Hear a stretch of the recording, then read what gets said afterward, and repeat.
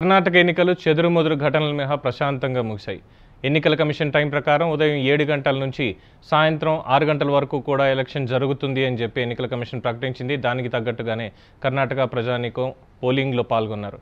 అయితే ఆరు గంటల తర్వాత కూడా పోలింగ్ జరిగే అవకాశం అనేక ప్రాంతాల్లో ఉంది. ఇప్పటికే ఓటు వేయడానికి క్యూలో నించిన వాళ్ళందరికీ కూడా అవకాశం ఇవ్వడానికి ఎన్నికల కమిషన్ అధికారులు కూడా ప్రయత్నం చేస్తూ వస్తున్నారు. ఓటు అవకాశం ఉందని చెప్తున్నారు. ఉదయం నుంచే దాదాపుగా గ్రామీణ ప్రాంతాల్లో ఓటర్లందరూ క్యూ లైన్లలో నిల్చున్న అప్పటికి వాళ్ళకి ఇంకా ఓటు వేయడానికి కాస్త అవకాశం దక్కలేదు. వాళ్ళందరికీ కూడా ఎలాగైనా ఇవ్వాలి అని. అలాగే ప్రా పట్టణ ప్రాంతాల్లో చాలా మందకొడిగా మొదలైన పది గంటల వరకు ఓటింగ్లో చురుకందుకుంది. అయితే ఎండ ప్రభావం వల్ల అనేక ప్రాంతాల్లో మధ్యాహ్నం చోట్ల పోలింగ్ కేంద్రాల్లో ఓటర్లు పలచగా కనిపించారు. మళ్ళీ నాలుగు గంటల నుంచి పోలింగ్ చురుకందుకున్నట్టు పోలింగ్ అధికారులు చెప్తున్నారు. మధ్యాహ్నం మూడు గంటల ప్రాంతంలో దాదాపు యాభై రెండు పాయింట్ మూడు శాతం పోలింగ్ పోటింగ్ అయినట్టు ఎన్నికల సంఘం వాళ్ళు చెప్తున్నారు. ప్రస్తుతం ఇప్పటి వరకు ఉన్నటువంటి ఫలితాలను చూసుకుంటే అరవై ఆరు శాతం వరకు పోలింగ్ అయింది అని ఇంకా పోలింగ్ కేంద్రాల వద్ద ఓటర్లు తమ ఓటు హక్కును వినియోగించుకుంటూనే ఉన్నారనేది అక్కడి నుంచి అందుతున్నటువంటి రిపోర్ట్. దాదాపు రాత్రి ఎనిమిది గంటల వరకు కూడా ఈ పోలింగ్ జరిగే అవకాశం ఉన్నట్లు అధికారులు చెప్తున్నారు. పోలింగ్ కొనసాగుతున్నటువంటి సమయంలో మూడు చోట్ల హింసాత్మక ఘటనలు చోటు చేసుకున్నట్లుగా సమాచారం. విజయపుర జిల్లా బసవన్ బాగేవాడి తాలూకా మసబిన్నల గ్రామంలో ఈవీఎంలను గ్రామస్తులు పగలగొట్టారు. ఎన్నికల అధికారులు ఈవీఎంలను వీవీప్యాట్లను మార్చారు అన్న రూమర్స్ నేపథ్యంలో ఒక్కసారిగా విరుచుకుపడినటువంటి కొందరు ఆగ్రహంతో గ్రామస్తులు ఎన్నికల సిబ్బంది మీద దాడి చేయడం మాత్రమే కాకుండా అడ్డొచ్చిన పోలీసులను కూడా అక్కడ చితకబాదిన ఘటన చోటు చేసుకుంది. ఈవీఎంలను వీవీప్యాట్ మిషన్ల గ్రామస్తులు ధ్వంసం చేశారు. ఈవీఎంలను ధ్వంసం చేయడంతో అక్కడ పోలింగ్ అనేది నిలిచిపోయింది. మరి అక్కడ రీపోలింగ్ జరుగుతుందా ఏంటి అనేది రేపు తెలియాలి. ఎన్నికల సిబ్బంది కారును సైతం అక్కడ పల్టీ కొట్టించి ఈ ఘటన జరిగింది. పద్మనాభనగర్ నియోజకవర్గంలో పోలింగ్ బూత్లో కొందరు యువకులు హింసాత్మక ఘటనలకి పాల్పడ్డారు. దీని మీద కూడా రిపోర్ట్ అనేది అందుతుంది. సో దీనికి సంబంధించి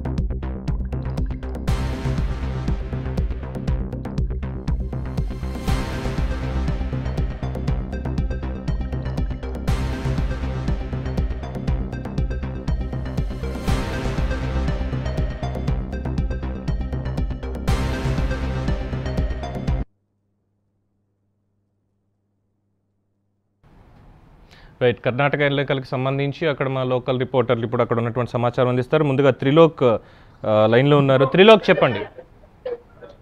కృష్ణ కర్ణాటక విధానసభ ఎన్నికలకు సంబంధించి రోజు పోలింగ్ అయితే చిన్నపాటి ఘర్షణ మినహా మా పోలింగ్ అంతా ప్రశాంతంగా ముగిసింది అని చెప్పాలి. ఇక్కడ ఏదైతే ఇక్కడ బళ్ళారి అవుట్ అంటే రూరల్లో ఏరియాలోని ఒక ఒక ప్రాంతంలో మాత్రమే కొంత ఘర్షణ వాతావరణం జరిగింది. దాని వెంటనే పోలీసులు అక్కడికి చేరుకొని వెంటనే అక్కడ ఈ రెండు వర్గాలని చెరగొట్టిన పరిస్థితి అయితే ఉంది. ఇప్పుడు ప్రస్తుతం మనము వాసవి కాంపోజిట్ జూనియర్ కళాశాలలో పోలింగ్ సెంటర్ ఏర్పాటు చేశారు. ఇక్కడైతే ఉన్నాం. ఇప్పటికి టైం అయిపోయింది అంటే సిక్స్ ఓ క్లాక్ టైం ముగిసినప్పటికీ కూడా ఆ, ఓటర్లు అయితే ఓటు హక్కు వినియోగించేందుకు బారులు తీరిన పరిస్థితి ఉంది. ఇక్కడ దాదాపు మరో రెండు గంటల పాటు పోలింగ్ అయితే జరిగే పరిస్థితి కూడా ఉంది. ఇప్పుడు అంటే ఒక పోలింగ్ సెంటర్కి సంబంధించి ఆ, అధికారులు అయితే కసరత్తు ప్రారంభించారు. ఇప్పటికే ఈ పోలింగ్ సెంటర్లో ఆ, అంటే వచ్చే ఎంట్రీ ని ఆపేశారు. గేట్లో కూడా బంద్ చేసిన పరిస్థితి ఉంది. ఇప్పుడు ఎంతమంది అయితే ఆ, పోలింగ్ సెంటర్కి చేరుకున్నారో వీరు మాత్రం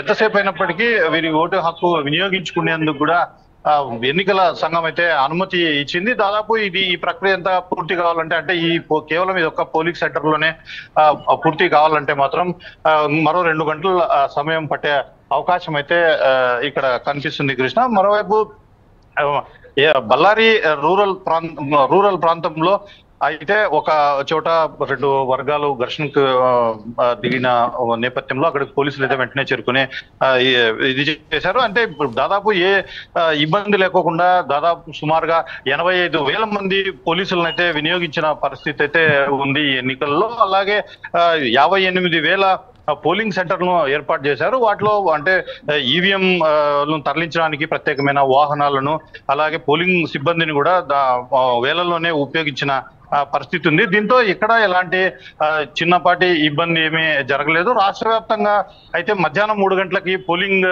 ఏదైతే శాతం నమోదైందో అది యాభై శాతంగా చెప్తున్నారు. దాని తర్వాత అంటే మూడు గంటలకి పోలింగ్ అయిన తర్వాత పోలింగ్ అయిన తర్వాత ఆరు గంటలకు అంటే ఆరు గంటల సమయం అంటే మళ్ళీ మూడు గంటల పోలింగ్ జరిగి ఉంటుంది కాబట్టి అది కాస్త అంటే ఒక పదహైదు పదహారు పర్సెంట్ లేదా ఒక ఇరవై పర్సెంట్ అంటే కూడా సెవెంటీ పర్సెంట్కి పోలింగ్ ఆ, చేరుకోయి ఉండొచ్చు అని ఒక అంచనాకైతే వస్తున్న పరిస్థితి.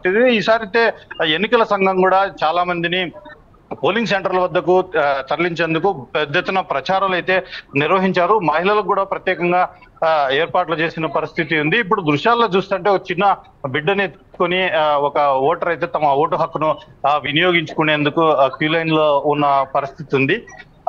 చూడొచ్చు. చలాకీగా ఉత్సాహంగా ఆ చిన్నారి ఉన్న పరిస్థితి అయితే ఉంది. ఇప్పుడు దాదాపు మరో రెండు గంటల్లో కర్ణాటకలో అయితే పోలింగ్ గడువు ముగిసినప్పటికీ మరో రెండు గంటల్లో అయితే కర్ణాటకలో పోలింగ్ ముగిసే అవకాశం ఉంది. ఈ ప్రక్రియ అంతా పూర్తి అయ్యే మరో రెండు గంటలు అయితే టైం తీసుకునే అవకాశం ఉంది. రైట్ మీ రీజియన్లో అక్కడ ఇప్పటివరకు ఆ, పోలింగ్ నిలిపివేసినటువంటి సంఘటనలు ఏమైనా ఉన్నాయా? అలా వాటిలో రీపోలింగ్ జరిగే అవకాశాలు ఉన్న ఏరియాలు ఏమైనా ఉన్నాయా అక్కడ?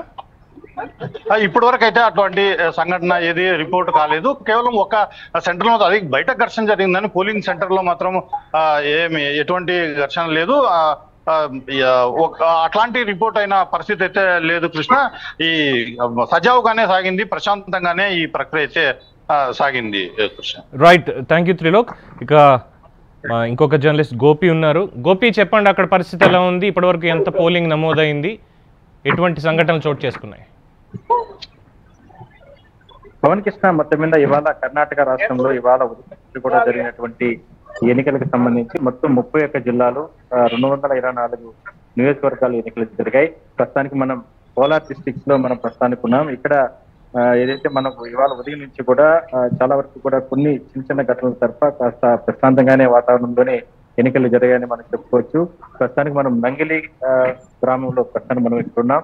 ఇక్కడ మనం చూడొచ్చు కాసేపటి క్రితమే మొత్తం ఏదైతే మొత్తం అంతా కూడా ఇక్కడ ఎన్నికల ప్రక్రియ అంతా కూడా కంప్లీట్ అయింది. అయితే ఇవాళ ఉదయం ఏడు గంటల నుంచి కూడా వేసినటువంటి అంటే ఓటర్లందరూ కూడా ఏదైతే ఓట్లు వినియోగించుకున్నారో ఆ ఓటర్లకు సంబంధించిన ఈవీఎంలు అంతా కూడా ఇక్కడ నుంచి తీసుకెళ్ళేందుకు అధికారులంతా కూడా ఏర్పాట్లు చేసుకోవడం జరిగింది.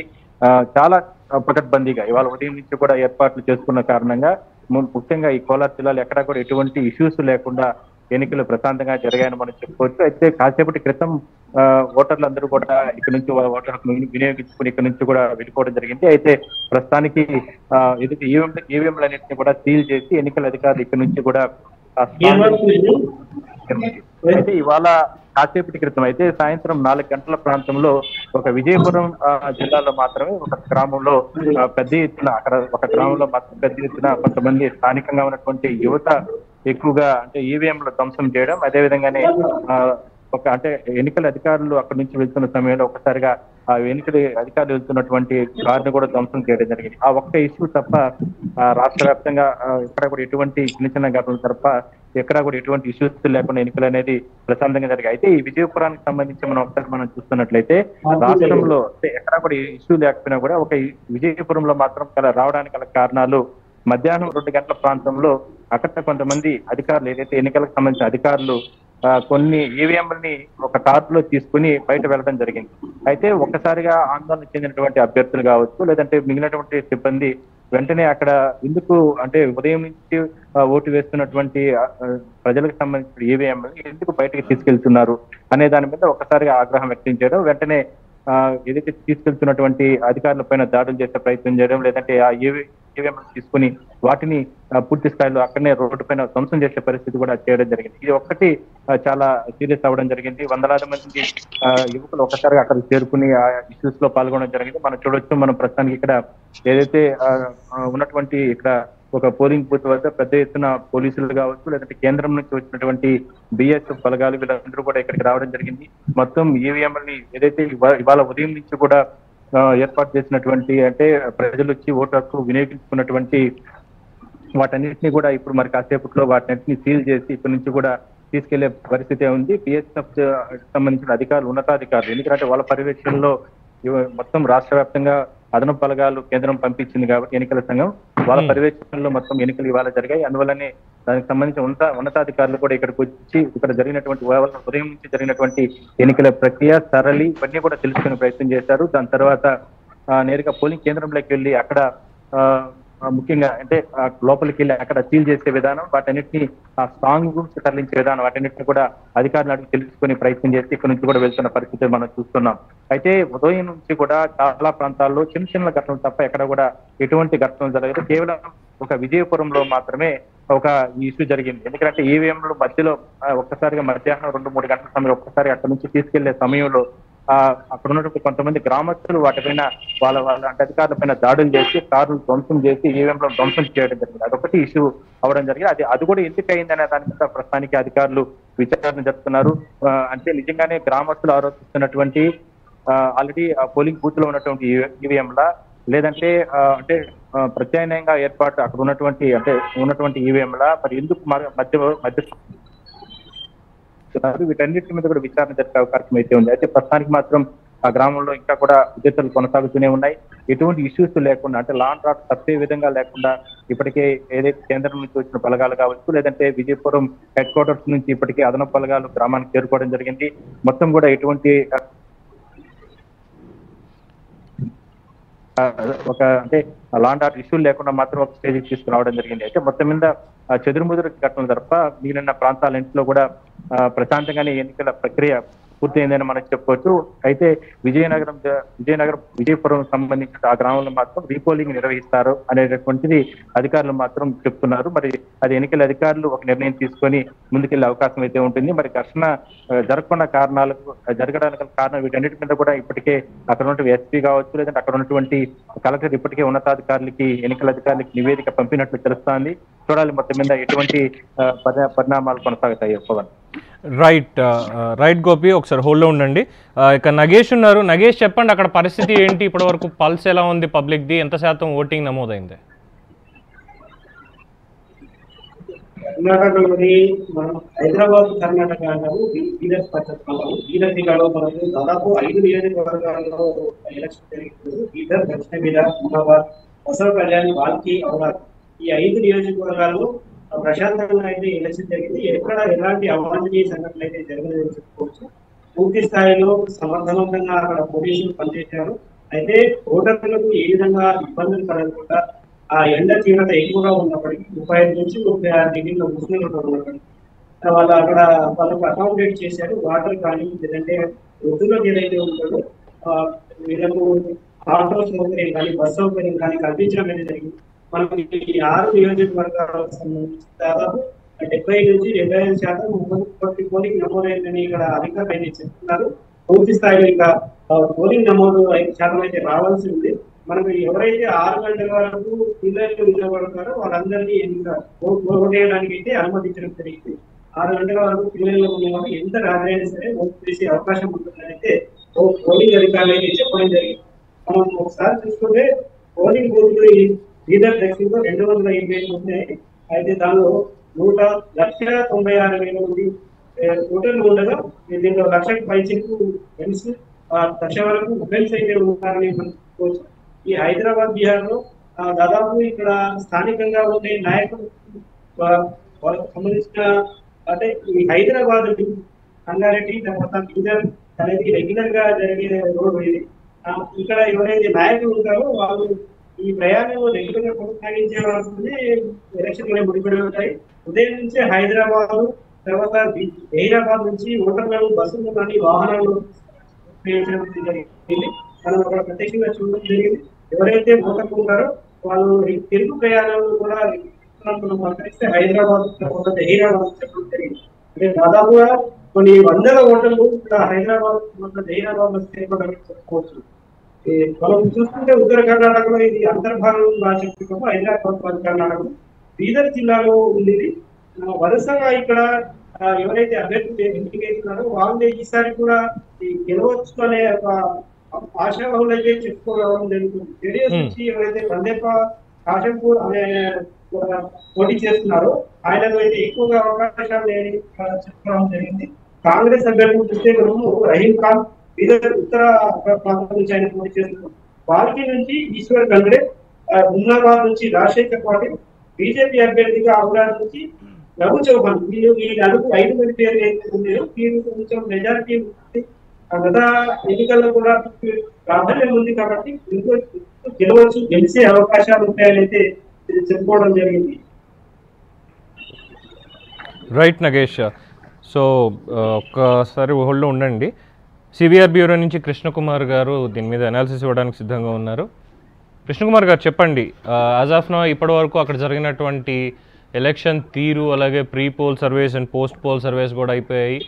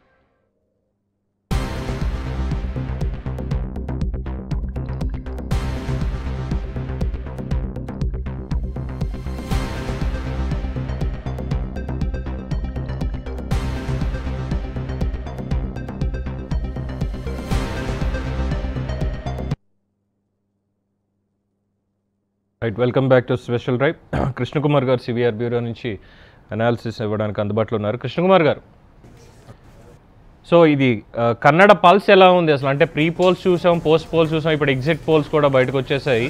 సో ఇప్పటి వరకు అరవై ఆరు శాతం వరకు కూడా అక్కడ పోలింగ్ జరిగింది అనేది రిపోర్టర్స్ కూడా చెప్తున్నారు అలాగే సర్వేలు కూడా చెప్తున్నాయి. చెదురు ముదురు ఘటనలు తప్పితే ఎన్నికలంతా ప్రశాంతంగానే జరిగాయి. ఈసారి కన్నడ ప్రజలు చాలా క్లియర్ క్లియర్ మైండ్ తోటి ఉన్నారు. ఎటువైపు వెళ్తారు ఏంటి అన్న వివరాలు కూడా బయటకు వచ్చాయి సో ఏంటి ఇప్పుడు అక్కడ పరిస్థితి?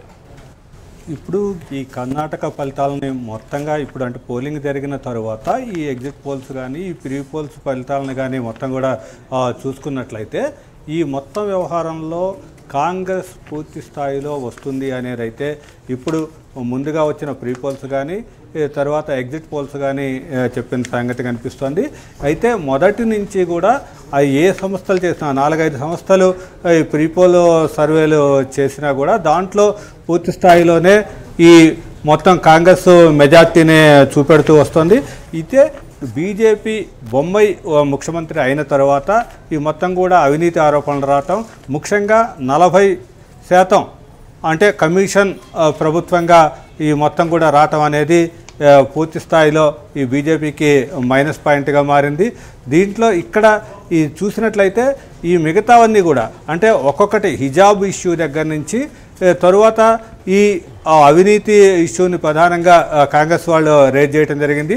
తరువాత హివా హిజాబ్ ఇష్యూను తర్వాత నందిని పాలు వాస అమూల్ పాలు ఇవన్నీ కూడా అన్ని అంశాలు కూడా ఇవన్నీ కూడా బీజేపీకి నష్టం చేకూర్చినాయని చెప్పొచ్చు. దాంతోపాటుగా ముఖ్యంగా ధరల పెరుగుదల ఈ మొత్తం కూడా గ్యాస్ ధరల పెరుగుదల మిగతాదంతా కూడా అన్నీ చూసినట్టయితే వీటన్నిటి మీద తీవ్ర స్థాయిలో బీజేపీ మీద వ్యతిరేకత ఉన్న క్రమంలోనే ఈ మొత్తం ఈ బీజేపీకి వ్యతిరేకంగా ఓటు వేయాలని ముందే ఓటర్లు నిర్ణయించుకున్నారా అనే స్టైల్లోనే ఈ ప్రీ పోల్ ఫలితాలు కానీ ఈ తర్వాత ఎగ్జిట్ పోల్ ఫలితాలు కానీ మనకి కనిపిస్తున్నాయి. దాంట్లో ఎవరు చెప్పినా కూడా ఆత్మసాక్షి సర్వే చెప్పినా లేకపోతే లోక్పాల్ సర్వే చెప్పినా ఏబీపీ సీఓటర్ సర్వే అన్నీ కూడా చూస్తే మొత్తం కూడా నూట ఇరవై నుంచి నూట ముప్పై స్థానాలు మొత్తం కాంగ్రెస్కి అనుకూలంగా వస్తాయని అయితే పీపోల్ సర్వేలు చెప్పినాయి. తర్వాత ఈ ఆత్మసాక్షి ఎగ్జిట్ పోల్ సర్వేలో కూడా ఇప్పుడు చూసినట్టయితే ఈ మొత్తం కూడా ఈ దీంట్లో కూడా ఎనభై మూడు నుంచి తొంభై నాలుగు స్థానాలకే కూడా బీజేపీ పరిమితం అవుతుంది. తర్వాత కాంగ్రెస్ నూట పదిహేడు నుంచి నూట ఇరవై నాలుగు స్థానాలు సాధిస్తుంది అని చెప్పాం. తర్వాత జేడిఎస్ కీలకంగా ఇరవై మూడు నుంచి ముప్పై స్థానాలు గెలుచుకునే అవకాశం ఉంది. తర్వాత ఇతరులు చూసినట్టయితే రెండు నుంచి ఎనిమిది స్థానాలు. అయితే దీంట్లో ఇక్కడ వీళ్ళు ఈ ఎగ్జిట్ పోల్ సర్వేలో ఈ ఆత్మసాక్షి ఎగ్జిట్ పోల్ సర్వేను మనం ప్రధానంగా తీసుకున్నట్టయితే దాంట్లో చెప్పిన వివరాలను పరిశీలిస్తే ఒక ఆసక్తికరమైన అంశం అయితే మనం చూడొచ్చు. రెండు వేల పద్దెనిమిదిలో జరిగిన ఎన్నికల్లో బీజేపీ ఓట్ల శాతం ఏదైతే ఉందో అది ముప్పై ఆరు పాయింట్ మూడు ఐదు పర్సెంట్గా ఉంది. అదే ఇప్పుడు దాంట్లో ఒక టూ పర్సెంట్ ఓటే బీజేపీకి తగ్గుతోంది. అంటే ఓట్ల శాతం పరంగా బీజేపీకి అయితే ఎక్కువ తగ్గట్లేదు. అదేవిధంగా ఈ మొత్తం కూడా కాంగ్రెస్కి ముప్పై ఎనిమిది పాయింట్ ఒకటి నాలుగు శాతం ఓట్ల షేరు అంటే ఉంటే అది కూడా నలభై రెండుకి పెరుగుతోంది. దీన్ని అటు జేడిఎస్కి అయితే ఓట్ల శాతం తగ్గింది. కాబట్టి ఈ కాంగ్రెస్కి ఎటు నుంచి జేడిఎస్ నుంచే ఎక్కువ ఓట్లు బదిలీ అయినాయి అనేది అయితే వస్తుంది. కాకపోతే ఈ బీజేపీకి తగ్గిన రెండు శాతం కానీ ఆ తరువాత కాంగ్రెస్ జేడిఎస్ నుంచి వచ్చిన వీటిని కూడా పూర్తి స్థాయిలో మనం వేరీ చేసుకుంటే సీట్ల తే- తేడా మాత్రం విపరీతంగా ఉందనేది అయితే ఇక్కడ చెప్తుంది. వీటికి అనేక అంశాలు అనేక అంశాలు అయితే వీటికి కాంగ్రెస్కి అనుకూలంగా మారాయి. తరువాత ఈ కాంగ్రెస్ మేనిఫెస్టోలో చేసిన కొన్ని వాగ్దానాలు అవన్నీ కూడా ఇవన్నీ బీజేపీకి ప్లస్గా మారతాయి అని లాస్ట్ మూమెంట్లో ప్రధాని నరేంద్ర మోడీ దగ్గర నుంచి కూడా అందరూ మొత్తం విస్తృత ప్రచారం చేసినా కూడా ఈ ప్రజల నాడు అనేది కాంగ్రెస్కి అనుకూలంగానే ఉంది. కా అనేదైతే మనకి ఎగ్జిట్ పోల్ ఫలితాలను బట్టి అయితే తెలుస్తుంది పవన్. ఎస్ అయితే ఇక్కడ ప్రధాని నరేంద్ర మోడీ గారు ఏకంగా దాదాపు మూడు సార్లు రావడము అలాగే అనేక కార్యక్రమాలు అధికారిక కార్యక్రమాల పేరుతో ఎన్నికలకు సంబంధించి కూడా ఆయన ఈ ప్రచారం చేయడం ఇదంతా చూసిన తర్వాత ఇప్పటి వరకు అక్కడ నమోదైనటువంటి sixty six or sixty five percent voting తర్వాత చూసుకున్నప్పుడు భారతీయ జనతా పార్టీకి మోడీ గారు వాళ్ళు హెల్ప్ ఏం అవ్వలేదంటారా కర్ణాటకలో? అంటే ఇక్కడ చూసినట్టయితే రెండు వేల పద్దెనిమిదిలో ఇంచుమించు డెబ్బై ఆరు పర్సెంట్ దాకా ఓటింగ్ శాతం వచ్చింది. ఇప్పుడు అది చూస్తే అది కూడా రీచ్ అయ్యే పరిస్థితి కనిపించటం లేదు అంటే ఏంటి? ఓటింగ్ శాతం పెరిగితేనే బీజేపీ లాభపడుతుంది అంటే యూత్ ఒక తొమ్మిది లక్షల ఓట్ల దాకా కూడా ప్రధానంగా కొత్త ఓట్లు అవన్నీ చేరటము ఇవన్నీ కూడా కలుపుకుంటే వీటిని ఓట్ల శాతం పెరిగి అంతేగాని కాంగ్రెస్కి నష్టం జరిగి బీజేపీకి లబ్ధి చేకూరుతుంది అనే క్రమంలోనే ఓట్ల శాతం పెంచటం కోసం తరువాత ఒక ఈ ప్రజల్లో ఉద్వేగభరితమైన వాతావరణాన్ని సృష్టించాలి అనే క్రమంలోనే చివరి అంకం మొత్తం ప్రచారం జరిగిందని చెప్పొచ్చు. ఈ మొత్తం వ్యవహారాన్ని చూసినట్లయితే బీజేపీ నేతలు కానీ అటు ప్రధాని నరేంద్ర మోడీ కానీ కొంతమేరకు సక్సెస్ అయినా కూడా అంటే మొదట పూర్తిగా కాంగ్రెస్కే ఫేవర్గా ఉన్నది అనే పరిస్థితి నుంచి హంగు వస్తుందా అనే పరిస్థితికి తేగలిగాం అనుకున్నా కూడా చివరికి మొత్తం కాంగ్రెస్కే అనుకూలంగా ఉందేమో పరిస్థితి అనే దాన్ని ఎగ్జిట్ పోల్ ఫలితాలు అయితే చెప్తున్నాయి. అయితే ఈ మొత్తం వ్యవహారంలో జేడిఎస్ పాత్ర కూడా కీలకంగా మారే అవకాశంగా ఉండే పరిస్థితి కూడా కనిపిస్తుంది పవన్.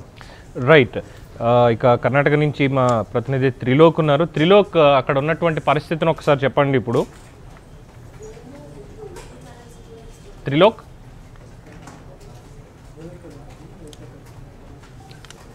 త్రిలోక్.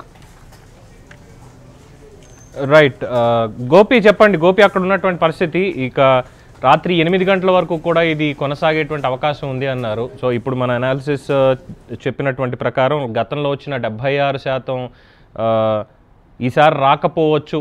అరవై ఆరు నుంచి మేబీ డెబ్బై శాతం డెబ్బై రెండు శాతం వరకే నమోదు అవ్వచ్చు అని కూడా చెప్తున్నారు. అక్కడ పల్స్ అలా ఎలా ఉందంటే ఓవరాల్గా చూసుకున్నప్పుడు నిజంగా డెబ్బై ఆరు శాతానికి రాత్రి ఎనిమిది గంటల లోపల నమోదయ్యే అవకాశాలు ఉన్నాయా?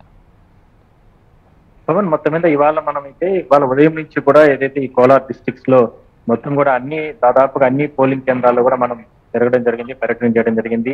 ఆ, పోలింగ్ ప్రక్రియ కావచ్చు వీటన్నింటిని కూడా మనం తెలుసు చూడడం జరిగింది. అదేవిధంగా ప్రజల నాడి అంటే ప్రజలు లోపలికి వెళ్ళి ఓటు వేస్తున్న విధానం కావచ్చు లేదంటే అక్కడ ఎన్నికల అధికారులు ఏర్పాటు చేసిన విధానం కావచ్చు లేదంటే ఇబ్బందులు కావచ్చు లేదంటే వీటన్నిటిని కూడా మనం చూసిన సమయంలో ఖచ్చితంగా. ఎందుకంటే ఇవాళ ఓటింగ్లో పాల్గొన్నటువంటి ప్రజలు దాదాపుగా ఐదు కోట్ల ఇరవై ఒక్క లక్షల ముప్పై లక్షల మంది వరకు కూడా వాళ్ళకి ఓటు హక్కుంటే ఇందులో దాదాపుగా రెండు లక్షల ఆ, అరవై వేల వరకు కూడా పురుషులు ఉన్నాయి రెండు కోట్ల.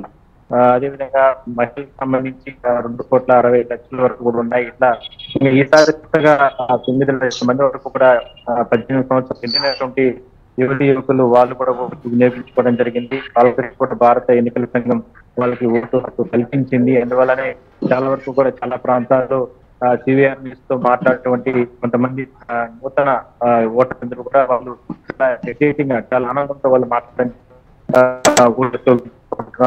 తమ- అభ్యర్థి కంటే కూడా చాలా హ్యాపీగా మాట్లాడింది ఇవన్నీ చూస్తే చాలా వరకు కూడా ప్రజల నాడి మారింది. అదేవిధంగానే అంటే ఇప్పటికే అంటే భారత ఎన్నికల సంఘం ఇచ్చినటువంటి కొత్త విధానం ఏదైతే ఎనిమిది ఎనభై సంవత్సరాలు దాటిన వాళ్ళకందరికీ కూడా వాళ్ళకందరికీ కూడా ఓట్ ఫర్ కార్యక్రమాన్ని తీసుకురావడం వాటి. గోపి వాయిస్ బ్రేక్ అవుతుంది ఒకసారి చూడండి. సార్ ఇంట్లోగా త్రిలోక్తో మాట్లాడుతాం త్రిలోక్ చెప్పండి. త్రిలోక్. త్రిలోక్ చెప్పండి ఇప్పుడు డెబ్బై ఆరు శాతానికి మొత్తం ఓవరాల్గా వెళ్ళేటువంటి పరిస్థితి కనిపిస్తోందా? లేదు తక్కే అవకాశాలు ఏమైనా ఉన్నాయా? అలాగే ఏ రాజకీయ పార్టీకి ఎక్కువగా ప్రజలు మొగ్గు చూపుతున్నారు అని అనుకోవచ్చు ఆస్పద ఓటర్ సర్వే.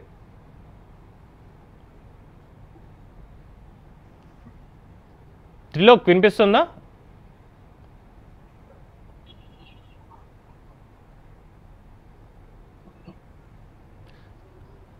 త్రిలోక్ వినిపిస్తోందా?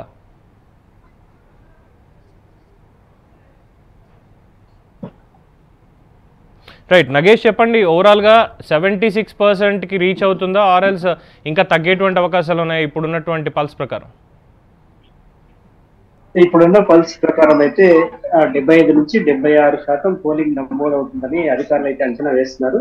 ఎందుకంటే ఈ ప్రస్తుతానికి వేరే రాష్ట్రాల్లో ఎక్కడ ఎలక్షన్ లేకపోవడం తర్వాత వచ్చే ఎలక్షన్స్కు ఇవి నాడి కావడం ఈ పరిణామాలు చూస్తుంటే కర్ణాటక ఎలక్షన్ పైన కొంత ప్రజల్లో ఆసక్తి అయితే నెలకొందని చెప్పుకోవచ్చు. కర్ణాటక ఎలక్షన్లో ఏ రాజకీయ పార్టీ అయితే ప్రభుత్వాన్ని నిలబెట్టుకుంటుందో ఆ రాజకీయ పార్టీకి ఆధారంగా వచ్చే ఎన్నికలు అనేది ఆ, ఉంటాయి. ముఖ్యంగా కాంగ్రెస్ జేడిఎస్ బీజేపీ ఈ మూడు పార్టీల మధ్య కర్ణాటకలో పోటీ అనేది నెలకొంది. ప్రభుత్వం ఉన్న బీజేపీ బీజేపీ కానీ కాంగ్రెస్ కానీ పోటా పోటీగా ప్రచారం నిర్వహించాయి. ప్రధానమంత్రి నరేంద్ర మోదీ కావచ్చు అటు కాంగ్రెస్ అగ్రనేత రాహుల్ గాంధీ కావచ్చు సోనియా గాంధీ కావచ్చు ఈ ఎన్నడూ లేనట్టుగా వాళ్ళు కర్ణాటకలో పర్యటనలు చేశారు. బహిరంగ సభలే కాకుండా ర్యాలీలో కూడా వాళ్ళు పాల్గొనడం జరిగింది. అయితే ఈ పరిణామాలన్నీ చూసుకుంటే ఆ, ఈ ఎలక్షన్స్ అనేది చాలా కీలకమని మనకు తెలుస్తుంది. మనం ముఖ్యంగా ఇటు బీదర్ ఆ, జిల్లా చూసుకున్నట్లయితే బీదర్ గుల్బర్గా అనేవి ఇక్కడ ఈ కర్ణాటక రాష్ట్రానికి ఉత్తరంగా ఉంటాయి. ఇవి చాలా కీలకమైన ప్రాంతాలు. ముఖ్యంగా ఈ కాంగ్రెస్ పార్టీకి కంచుకోట లాంటివి. గతంలో ఎప్పుడైతే మూడు నాలుగు టర్మ్లో కాంగ్రెస్ పార్టీ అయితే ఇక్కడ విజయం సాధించింది కాంగ్రెస్ తర్వాత జేడీ వరుసగా విజయ విజయాలు సాధిస్తూ వచ్చింది. అయితే ఈ పరిణామాలు చూసుకుంటే కొంత ఈ ఈసారి కొంత జేడీఎస్కి మొగ్గు ఉందని చెప్పుకోవచ్చు. కాంగ్రెస్ పార్టీ దేశవ్యాప్తంగా కొన్ని చాలా రాష్ట్రాల్లో అధికారాన్ని కోల్పోవడం తర్వాత అధికారానికి దగ్గరగా లేకపోవడం అనేది కొంత ప్రజలు అనాసక్తి కలిగించిందని చెప్పుకోవచ్చు. నిజంగా కర్ణాటకలో బీజేపీ జేడీఎస్ మధ్య కోరిక ఉంటుందని ప్రజలైతే చెప్పుకుంటున్నారు. రైట్ త్రిలోక్ చెప్పండి. ఇప్పుడు అక్కడ చూస్తున్నారు ఉన్నటువంటి ప్రజలు ఇంకా ఎలా వస్తున్నారు అనేది. దీన్ని ఓవరాల్గా కర్ణాటకకు అప్లై చేసుకుంటే సెవెంటీ సిక్స్ పర్సెంట్ వరకు రీచ్ అవుతుందా? లేదంటే ఎక్కువ అయ్యే అవకాశం లేదంటే తక్కువ ఉండే అవకాశం ఉందా ఓటింగ్ ఓవరాల్గా ఆ, ఇంచుమించు అంటే మధ్యాహ్నం మూడు గంటలకు యాభై మూడు శాతంగా ఉన్న ఆ పోలింగ్ ఇప్పుడు మరి మూడు గంటలు అయింది అయినా కూడా మరో గంట పాటు ఇక్కడైతే పోలింగ్ జరిగే అవకాశం ఉండడంతో ఇది సెవెంటీ పర్సెంట్ దాటే అవకాశం ఉందంటూ కూడా ఇక్కడ ఎన్నికల నిర్వహణ అధికారులు చెబుతున్న పరిస్థితి అయితే ఉంది. ఇది గత సంవత్సరం కంటే అంటే గత ఎన్నికల కంటే ఇప్పుడు కొంత పెంచాలన్న ఉద్దేశంతోనే ఎన్నికల సంఘం అయితే కసరత్తు ప్రారంభించింది. విపరీతమైన ప్రచారాలు చేయడం ద్వారా ఓటర్లను తమ ఓటు హక్కు వినియోగించుకునేలా ఓటే ప్రజల యొక్క ఆయుధం అని చెప్పే దిశగా ప్రచారం అయితే నిర్వహించడంలో దాంతో ఇప్పుడు మధ్యాహ్నం మూడు పైన అంటే మూడు గంటల తర్వాత భారీగా ఓటర్లు అయితే పోలింగ్ కేంద్రాలకు తరలి వచ్చిన పరిస్థితి. ప్రస్తుతం విజువల్స్లో కూడా మనం చూస్తున్నాం ఆ, దాదాపు ఆరు ఆరు నర దాటినప్పటికీ కూడా ఇంకా బారులు తిన పరిస్థితి ఉంది. ఈ పరిస్థితి ఎనిమిది గంటల వరకు ఇక్కడైతే ఆ, పోలింగ్ అయితే కొనసాగే ఆ, అవకాశం ఉంది. కాంగ్రెస్. ఓకే త్రిలోక్. నగేష్ చెప్పండి ఓవరాల్గా ఉన్నటువంటి పరిస్థితి. నగేష్?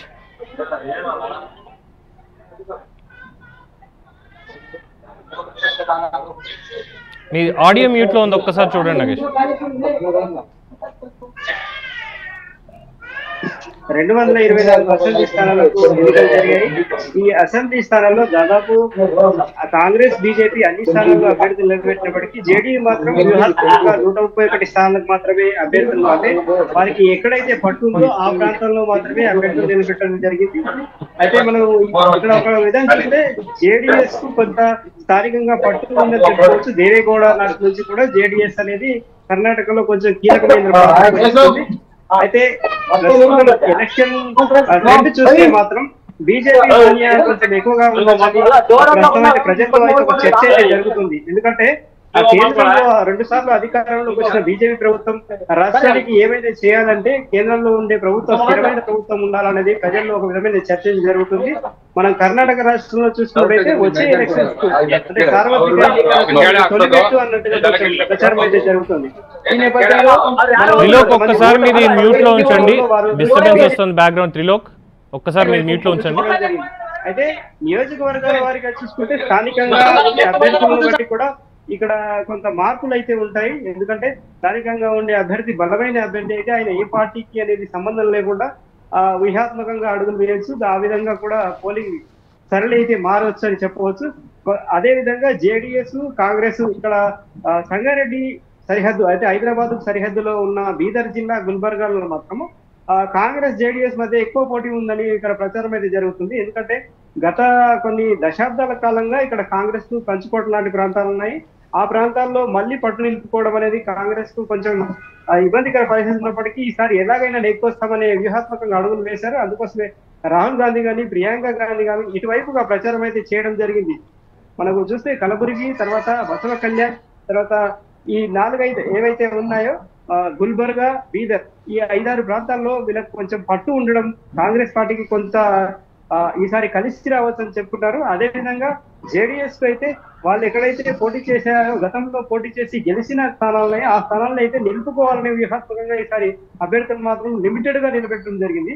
బీజేపీ పరిస్థితి చూసుకుంటే బీజేపీ అన్ని స్థానాలను తమకి తమ గుప్పిట్లోకి తీసుకోవాలనే ఉద్దేశంతోనే ఈసారి వ్యూహాత్మకంగా ముందడుగు వేసిందని చెప్పుకోవచ్చు. ఇందులో భాగంగానే ప్రధానమంత్రి నరేంద్ర మోదీ కావచ్చు హోంమంత్రి అమిత్ షా కావచ్చు తర్వాత కీలక నాయకులు ఎవరైతే ఉన్నారో సెంట్రల్ గవర్నమెంట్లో వాళ్ళంతా దినదినం ప్రచారాలు చేయడం తర్వాత రోడ్ షోలు ఇరవై ఆరు కిలోమీటర్లు పది కిలోమీటర్లు ఈ విధంగా రోడ్ షోలు ప్రధానమంత్రి స్వయంగా రంగంలోకి దిగి రోడ్ షోలు నిర్వహించడం అంటే ఈ ఎన్నికలు ఎంత వాళ్ళకు వ్యూహాత్మకంగా ఉన్నాయి తర్వాత వచ్చే ఎలక్షన్స్ ఏ విధంగా వాళ్ళు తీసుకున్నారు దీనికి ఎంత కొంత బ్యాక్గ్రౌండ్ వర్క్ చేశారనేది మనకు అర్థమవుతుంది. Right right Nagesh so over to Krishnakumar గారు.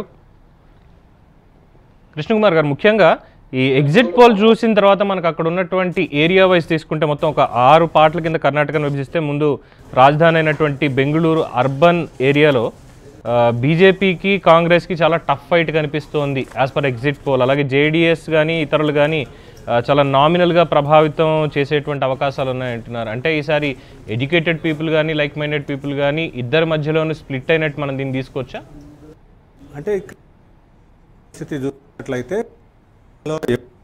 లాస్ట్ టైం కూడా పర్సెంట్ మించలేదు. ఓట్ల శాతాన్ని పెట్టడానికి మొత్తం కూడా ప్రాంతాల్లో కేంద్రంగా ముఖ్యంగా కూడా బీజేపీ పట్టణ ప్రాంతాల్లో ఓటర్ల మీదనే ఎక్కువ ఆధారపడి ఉంటుంది దాని ఓటు శాతం కూడా బీజేపీకి పట్టణ ప్రాంతంలో అయితే పూర్తి స్థాయిలో ఓటింగ్ పడుతుందనే బీజేపీ నాయకులకు కానీ మిగతా పార్టీ వైజ్గా కూడా వాళ్ళ అంచనాలు కూడా అదే విధంగా ఎప్పటి నుంచో కూడా అంటే ఈ కర్ణాటకే కాదు ఎటు అయినా సరే అన్ని ప్రాంతాల్లో కూడా పట్టణ ఓటర్లు ముఖ్యంగా విద్యావంతులను టార్గెట్ చేసుకొని బీజేపీ తన రాజకీయాలు చేస్తుంది. అయితే ఈ దశలో చేసిన దాంట్లో బీజేపీ ఒక బెంగళూరు కేంద్రంగా అంటే బెంగళూరు అర్బన్ రూరల్ చూసుకున్నట్టయితే రూరల్లో ఎప్పుడు కూడా బెంగళూరు రూరల్లో పర్సంటేజ్ ఎక్కువగా ఉండటం జరుగుతుంది. అదేవిధంగా ఈ మామూలుగా ఈ అర్బన్ ప్రాంతానికి వచ్చేటప్పటికి పర్సంటేజ్ అయితే పూర్తి స్థాయిలో పడిపోతుంది. దాన్ని పెంచాలి అని ఈసారి కూడా ఎన్నికల సంఘంతో సహా మొత్తం కూడా కృషి చేసినా కూడా ఈసారి కూడా ఆశించిన మేర అయితే ఇప్పుడు చూస్తున్నట్లయితే మొత్తం ఈ డెబ్బై పర్సెంట్ కూడా ఇంకా మొత్తం ఆరు లోపల డెబ్బై పర్సెంట్ కూడా కాలేదు. కాబట్టి ఈ మొత్తం కూడా ఓటింగ్ శాతం అయితే పెరగలేదు. కాబట్టి బీజేపీకి ఇది కూడా ఒక ప్రతికూల అంశంగానే మారిందని చెప్పొచ్చు.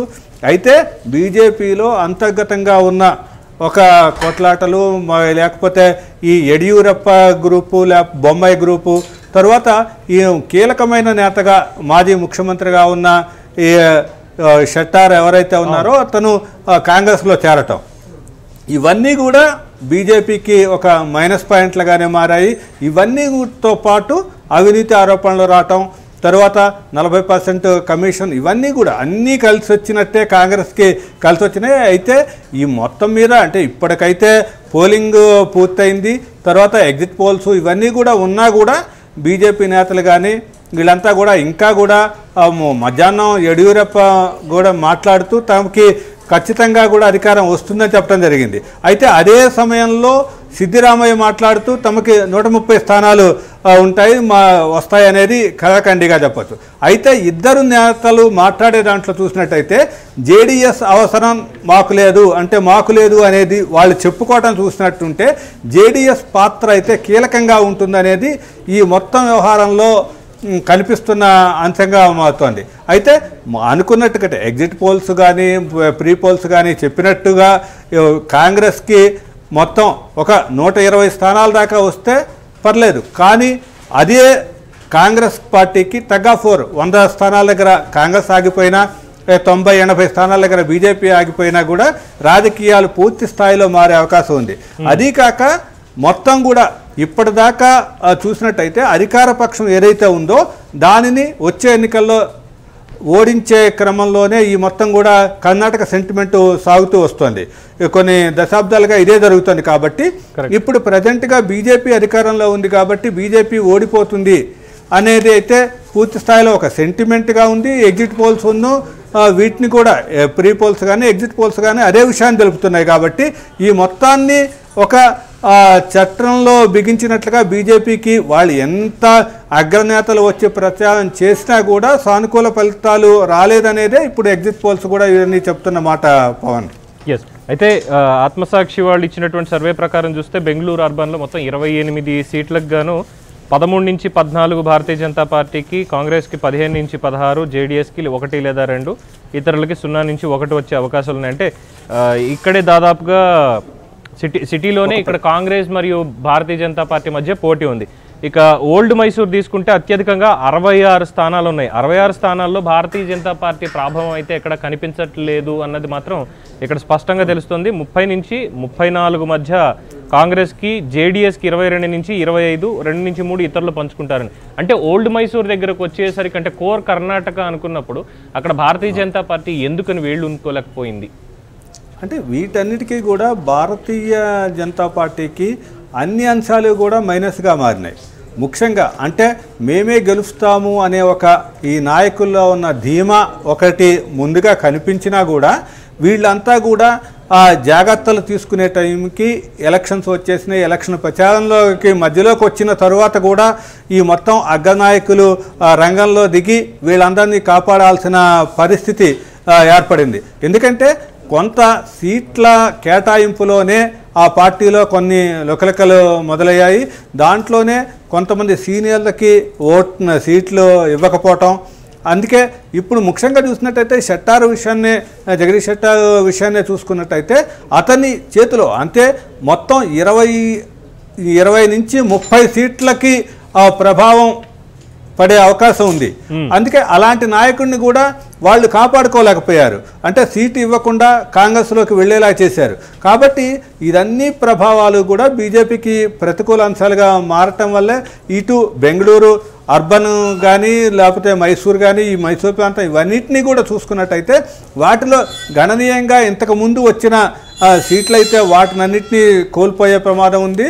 కాబట్టి వాటన్నిటినీ కూడా కాంగ్రెస్ అంటే వీళ్ళకి ఎప్పుడైతే ఇప్పుడు ప్రజలు ఎప్పుడైతే బీజేపీని ప్రభుత్వాన్ని ఓడించాలి అన్న క్రమంలో ఇక్కడికి వాళ్ళకి ఆప్షన్గా కూడా కాంగ్రెస్ జేడిఎస్ ఈ రెండే కనిపిస్తున్నాయి. అయితే జేడిఎస్లో కొంత మేరకు అన్ని అన్ని స్థానాలకి పోటీ చేసి పూర్తి స్థాయిలో లేదు కాబట్టి కాంగ్రెస్సే ప్రత్యామ్నాయంగా ప్రజలకి కనిపించింది అనేదైతే మనం ఇప్పుడు ఈ ఎగ్జిట్ పోల్ ఫలితాలను బట్టి అయితే చెప్పొచ్చు పవన్.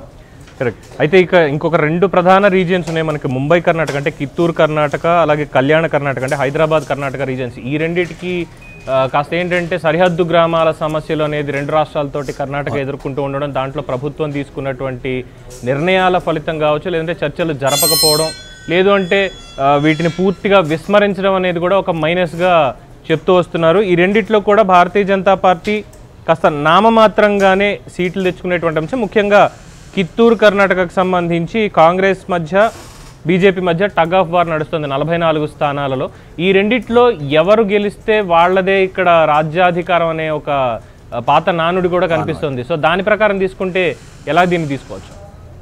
అంటే ఇప్పుడు ఏది చూసినా కూడా అన్నిట్లో ఇప్పుడు అంటే సరిహద్దుల్లో ఉన్న ఇప్పుడు మామూలుగా ఏపీకి సరిహద్దుల్లోనూ తర్వాత తెలంగాణకి సరిహద్దుల్లోనూ వీటిల్లో ఉన్న వాటిల్లో ఈ మొత్తాన్ని కూడా ఈ వీటిని కూడా ప్రభావం చూపలేకపోయింది అంటే ఇప్పుడు అధికార పక్షం అనేది ఆ, అన్నిట అన్ని వివాదాలని పరిష్కరించటంలో కూడా పూర్తిగా ఒక వైఫల్యం చెందిందని చెప్పొచ్చు. ముఖ్యంగా బొమ్మై ముఖ్యమంత్రి అయిన తరువాత బీజేపీ ప్రభుత్వం మీద మైనస్ అంటే ఒక అపనిందలు కానీ ఆరోపణలు కానీ ఇవన్నీ కూడా పూర్తి స్థాయిలో వచ్చాయి. వీటన్నిటిలో ఆ సరిహద్దు వివాదాలు కానీ వీటన్నిటిలో కూడా కీలకమైన నిర్ణయాలు తీసుకోవటంలో బొంబాయి ప్రభుత్వం అనేది విఫలమైంది. కాబట్టి ఇంతకుముందు యడియూరప్ప ముఖ్యమంత్రిగా ఉన్నప్పుడు కానీ తరువాత మిగతా ఉన్నప్పుడు కానీ ఒక కాన్స్టిట్యూ ఒక డిసిషన్ అనేది నిర్ణయాత్మకంగా ఉండేది. అయితే బొంబాయి అయిన తర్వాత ఒక బొంబాయి సీఎంకే పరిమితమయ్యాడు. అంటే ఆ సీటుకి సీఎంగానే ఉన్నాడు కానీ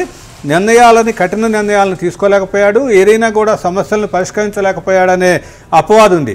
అదే క్రమంలోనే ఈ మొత్తం కూడా మిగతావన్నీ కలిసి వచ్చి ఏ ప్రాంతమైనా సరే అంటే ఇప్పుడు పూర్తిగా బీజేపీ ఆధీనంలో ఉన్న ప్రాంతాలని కూడా ఇదే మొత్తం కూడా రివర్స్ ట్రెండ్ నడిచిందనేది అయితే మనకి ఈ మొత్తం పరిస్థితులని ప్రభావం ఇప్పుడు పోలింగ్ సరళిని చూస్తే అయితే చెప్పుకోవచ్చు పవన్. ప్రధాని నరేంద్ర మోడీ గారు వచ్చి కాంగ్రెస్ పార్టీకి రావడం అంటే పడదు అని లేదు అంటే బజరంగ్ దళ్ అని లేదంటే కాంగ్రెస్ వాళ్ళు చేసినటువంటి ఇంకొన్ని వ్యాఖ్యలు ఇవన్నీ కూడా చాలా హీట్ పుట్టించాయి. కాస్త సీరియస్గానే ఉంటుంది అనుకున్నారు కానీ పబ్లిక్ని చూస్తే మాత్రం మేము ఇవేం పట్టించుకోము. కేవలం మా దైనందిన జీవితానికి ప్రభుత్వం ఏం చేస్తోంది మౌలిక సదుపాయాలన్న ఇదే పల్స్ కనిపిస్తోంది అనేది మన రిపోర్ట్స్ కూడా చెప్తున్నటువంటి అంశం. సో దీన్ని బేస్ చేసుకుంటే మతం అనేది ఇప్పుడు పనిచేసింది అనుకోవచ్చా లేదు అనుకోవాలా? అంటే ఇప్పుడు మత రాజకీయమో లేకపోతే విద్వేషాలు రెచ్చగొట్టటము అనే దాన్ని పూర్తి స్థాయిలో ఎప్పుడు కూడా మత రాజకీయాలు కానీ విద్వేషాలు రెచ్చగొట్టడం అనేది పూర్తి స్థాయిలో ఎవరికి ఏ పార్టీకి కూడా పనిచేసే అంశం కాదు. కానీ ఇప్పుడు కాంగ్రెస్ పార్టీ మేనిఫెస్టోలో బజరంగ్ దళని ఈ పీపుల్స్ ఫ్రంట్ దీంతో పో పోల్చి దాన్ని రద్దు చేస్తాము మేము అధికారంలోకి వస్తే రద్దు చేస్తాము అని చెప్పటం అనేది దాన్ని కొద్దిగా ఆ డిఫెన్స్లో పనిచే పని పడేసిందనే చెప్పొచ్చు కాంగ్రెస్ పార్టీని. అయితే ఆ అంశాన్ని అందిపుచ్చుకొని దీన్ని హనుమంతుడితో అంటే బజరంగ దళ అంటే మొత్తం కూడా ఈ మా భగవంతుడిని హనుమంతుడిని విమర్శించటము దీనికి మొత్తం కూడా హిందూ వ్యతిరేకులుగా కాంగ్రెస్ వాళ్ళు తయారయ్యారు అనే ఎజెండాని తీసుకొని బీజేపీ ముందుకెళ్ళినా కూడా ఈ మొత్తంలో అంటే అది చివరి అంకంలోనే అప్పటికే ప్రజలు అంటే ఇంతకు ముందే అసలు ఈ ప్రజల మనసుల్లో ఒక నిర్దిష్టమైన అభిప్రాయం అయితే అప్పటికే ఏర్పడింది అనే అభిప్రాయం ఇప్పుడు మనం చెప్పుకోవాల్సిన పరిస్థితి వచ్చింది. కాబట్టి ఇవన్నీ కూడా చివరి క్షణంలో మొత్తం కూడా ఈ నెల రోజుల లోపల మొత్తం ఈ అభి ప్రజల అభిప్రాయాన్ని మార్చే ప్రచారం చేయటం చేశారు. కానీ ఈ మొత్తంలో అయితే వాళ్ళు బీజేపీ కానీ అటు ప్రధానమంత్రి కానీ మిగతా నాయకులు అమిత్ షా కానీ వీళ్ళంతా కూడా పూర్తి స్థాయిలో ఎవరు కూడా విఫలం కా అదే విఫలమయ్యాయని చెప్పొచ్చు.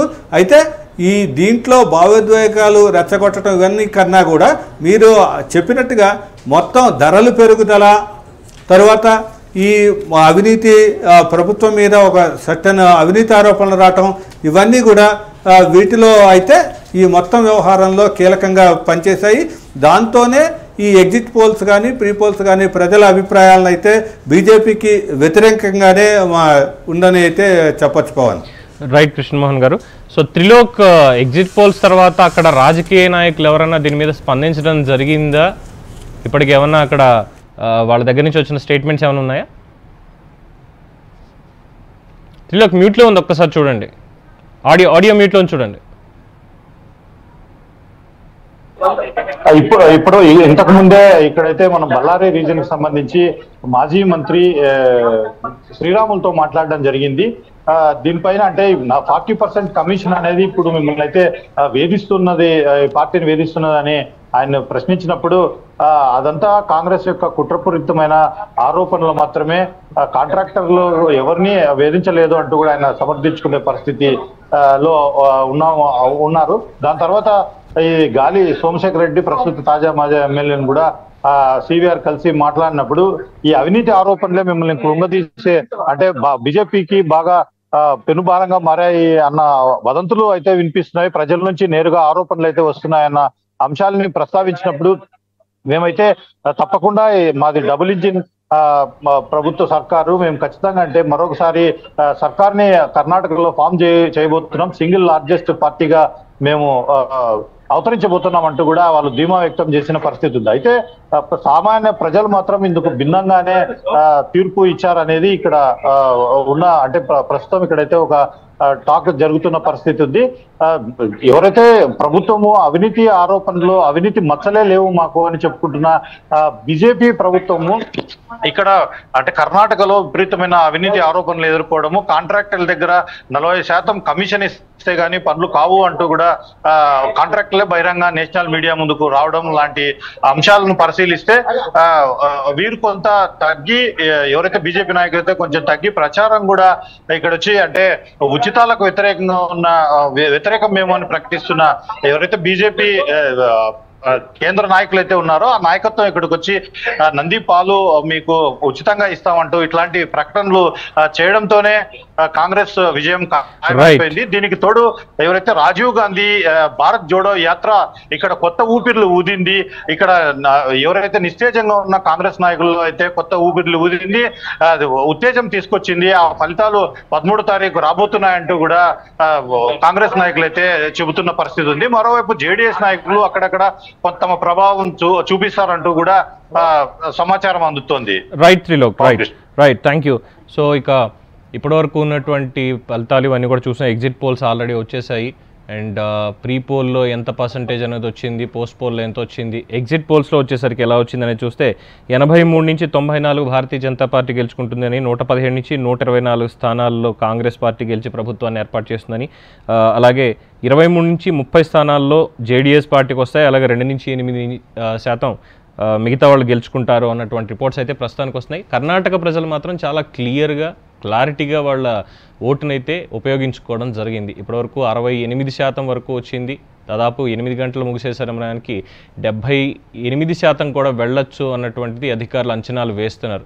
సో ఈ పెరిగినటువంటి శాతంతో ఎవరికి అనుకూలంగా మారుతుంది ఎవరికి ఖేదాన్ని మిగులుస్తుంది అనేది రేపు పదమూడో తారీఖు తెలుసుకోవాల్సిందే.